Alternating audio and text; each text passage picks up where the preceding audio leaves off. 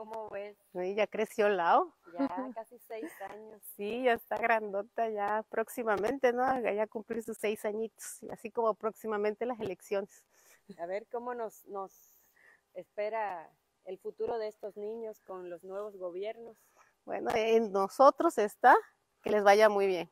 Es que sí, luego hay muchos ciudadanos que se abstienen al voto y eso no ayuda para nada en que hagamos el cambio. Sí, la apatía electoral, este, bueno, ya también los ciudadanos ya, muchos ya no, con el, con el pretexto de que, ay, ¿para qué voy a votar si es lo mismo? ¿Para qué si mi voto no? Eh, un voto cuenta, claro que un voto cuenta. Todos cuentan, pero además hay muchas colonias irregulares en donde no hay escuelas, no hay educación para los niños, entonces ellos eligen el camino fácil, el camino de la delincuencia, del crimen organizado, pues como, un, como una fuente de ingresos, porque como no tienen la preparación y la educación para trabajar.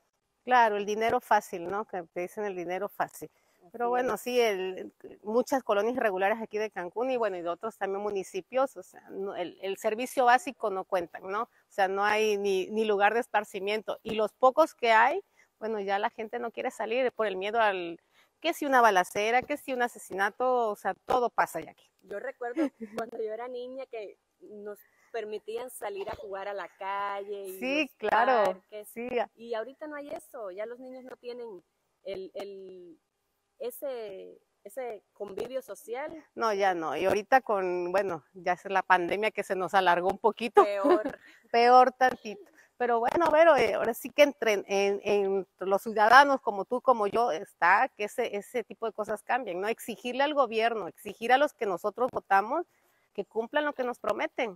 Nosotros tenemos que hacer el cambio. Claro. Y en, y en nuestras manos está el ejercer el voto para que tengamos una, un, Quintana Roo mucho mejor. Ejercerlo y ya cuando estén, exigir. Claro que sí. Por eso el público tiene que razonar muy bien su voto. Salga a votar. O sea, usted dice, no, mi voto, ¿qué va a cambiar? Su voto cambia, su voto cuenta. Así es.